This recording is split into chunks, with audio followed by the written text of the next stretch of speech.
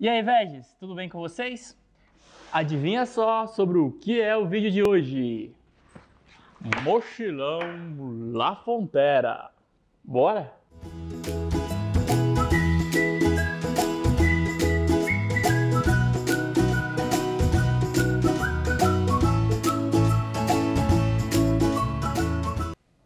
Aqui estamos com a maior mochila da Vegano Shoes. Nesse modo aberto, de uma ponta a outra, a gente tem 75 centímetros de mochila. E hoje eu quero te mostrar alguns detalhes dessa mochila incrível e resistente demais. Porque só para começar, ela é feita de lona de caminhão, mas a lona original de caminhão, aquela que é usada para cobrir carga de caminhão. E a gente usa ela aqui na cor verde e é uma lona nova. Então imagina a resistência disso e a durabilidade. Eu quero mostrar alguns detalhes para vocês. Tá difícil aqui de saber até por onde eu começo, porque tem tanta coisa aqui para mostrar, tem tanto detalhe que eu acho que vai ser praticamente impossível você ver tudo. Mas eu vou começar com algumas características. Como eu disse para você, essa lona é uma lona de caminhão e ela é hidrorrepelente. Mas o que é a hidrorrepelência? A hidrorrepelência é um produto que é passado nessa lona de caminhão para que ela consiga repelir a água, claro, mas não é uma impermeabilidade. A gente não pode confundir hidrorrepelência com impermeabilidade, porque aqui a água bate e vai escorrer, mas ela não vai conseguir segurar totalmente se você jogar essa mochila, por exemplo, dentro de um rio. Então, ela vai ajudar muito em chuvas, mas não em questão de impermeabilização total. Mas calma lá que por dentro ela tem um detalhe bem legal que você vai ver que ajuda mais ainda a deixar tudo preservado lá sem molhar. Uma coisa que me chama muita atenção aqui nessa mochila é o acabamento dela. É tudo dobradinho, a gente faz tudo nos mínimos detalhes, é muito bem acabado. Cada detalhe aqui de metal é tudo muito bem pensado e muito bem colocado. Eu vou tentar mostrar no vídeo para você como, como que cada detalhe aqui é muito bem feito, que apesar de ser uma mochila robusta, ela tem muitos detalhes delicados. Dá uma olhada nesses metais que a gente utiliza, que é de ótima qualidade, é de primeira linha, então dificilmente você vai ter problema com enferrujar algum zíper desse, ou até mesmo esse zíper emperrar aí durante sua viagem. Eu deixei a câmera bem aberta aqui para tentar te mostrar os bolsos dessa mochila. Aqui dos dois lados a gente tem dois bolsos principais, esse maior aqui, e a gente tem o pequeno aqui do lado, que é preso com uma fivela. E o de cima, ele tem um zíper aqui, que é duplo, inclusive. Do lado oposto, a gente tem a mesma coisa.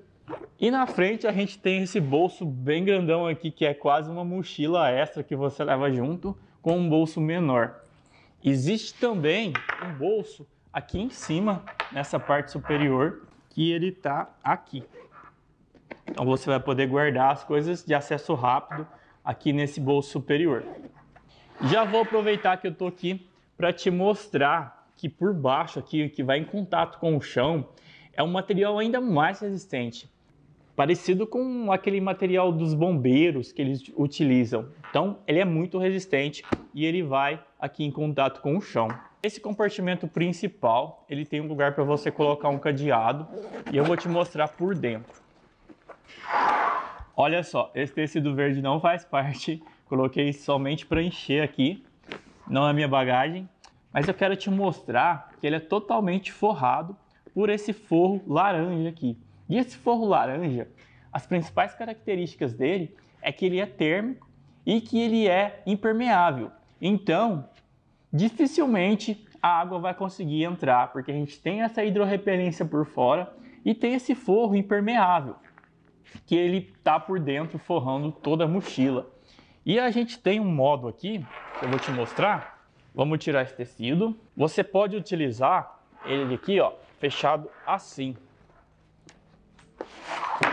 Você pode amarrar e deixar essa tampa aqui somente caída aqui em cima, que vai diminuir bastante o espaço. Mas A gente tem outra coisa bem interessante aqui no fundo, que eu vou te mostrar aqui, incrível. Esse fundo, ele é expansível, existe essa palavra? A gente consegue expandir esse fundo. Olha só, esse fundo ele é praticamente uma parte extra que você consegue fechar ou deixar ele em uso para você encher de coisas aqui. Eu vou fechar ele para você ver.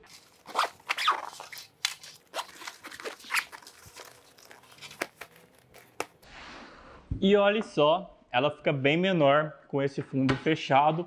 Para caso você queira fazer uma viagem com menos coisas, você vai conseguir utilizar ela nas costas com bem menos coisas e de um tamanho bem menor. Olha só, o fundo fica totalmente compacto aqui e você consegue utilizar. Eu vou te mostrar aqui a parte das alças e essa parte de trás, que é bem resistente também. Ela tem duas alças com uma cinta bem forte. E aqui embaixo a gente tem a barrigueira, que é para você prender totalmente essa mochila no seu corpo. Sem dúvida, uma mochila muito legal para você fazer uma viagem. Para você ir para Machu Picchu, fiquei sabendo que você quer ir para Machu Picchu.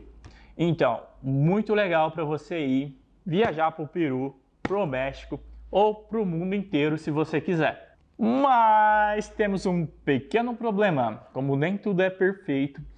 Essa mochila, como você viu, é enorme e ela tem muitas peças e ela tem um grau de dificuldade muito grande para ser feito. Porque, velho, todos os produtos da Vegano Shoes são cortados manualmente, ali na tesoura mesmo ou numa faquinha, e tudo isso é montado manualmente.